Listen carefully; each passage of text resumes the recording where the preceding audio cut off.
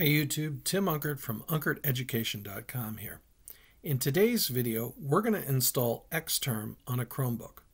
But first, if you enjoy videos on how to install items on your Chromebook or on a Windows computer, please make sure to subscribe. Okay, let's get to it. The first thing I need to do is enable the Linux development environment. So to do that, I'm going to go over to the launcher here, and I'm going to search for my settings and I'll click on my settings. And on the left hand side of my settings, I have advanced here. I'm going to click to expand that tab and I'm going to go on down to developers and click on that. From here, I can turn on the Linux development environment by clicking turn on. This will bring up a setup wizard and I'll start to go through it. So I'm going to click next and it's going to give me a username and that's based off my email. Now this can't be changed later, I don't believe. So you want to pick a username that you definitely want.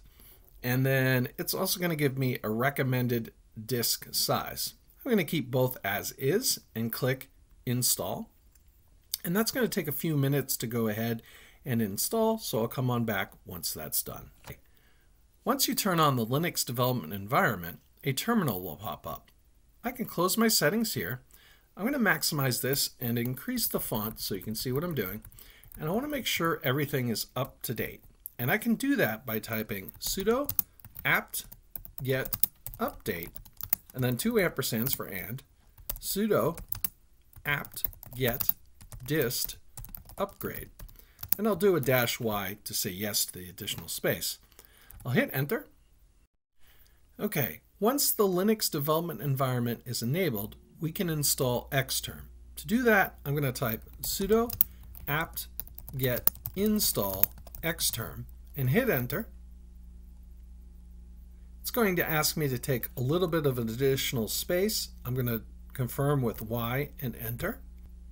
Okay, and now we can go to our launcher over here and we can search for xterm and we see the icon come up. I'm going to right click, uh, I'm going to click on that rather, and now I can pin it to my shelf and you can go about configuring Xterm. You notice the font is pretty small, but you can change that. Uh, I'm just going to clear that, but yeah. So now you have Xterm installed on your Chromebook. If you like this video, please give it a like. Thank you.